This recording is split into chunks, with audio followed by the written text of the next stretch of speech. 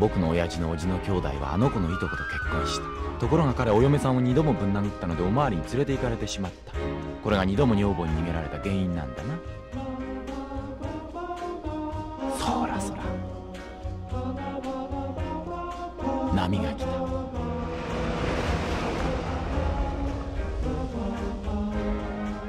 僕はベッドの下に弾の入ったピストルを入れている。自分の頭をぶち抜くためのピストルを持っているなんて生かしてるぜ。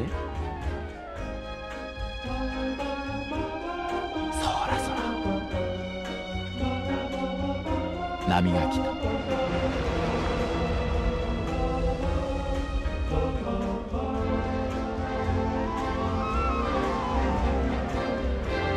僕は前に僕に首ったけの女の子と友達だ。でもその子肺に穴ぼこが開いて死んじゃった。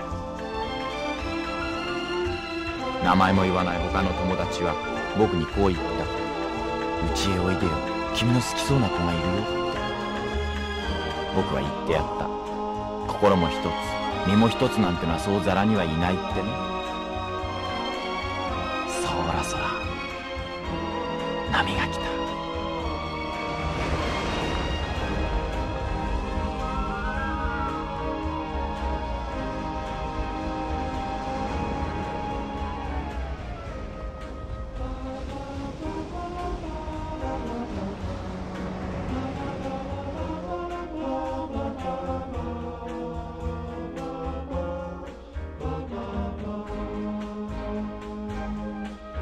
香水の匂いを嗅ぐと僕はくしゃみが出そうになる。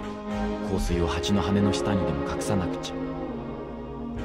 ベアトリス。これも女友達だけどベルトのバックルを集めてる。んだ彼女夜はドアの鍵開けっぱなしでねいつかいい体したおまわりが怒りにやってくるのを待っているんだってさ。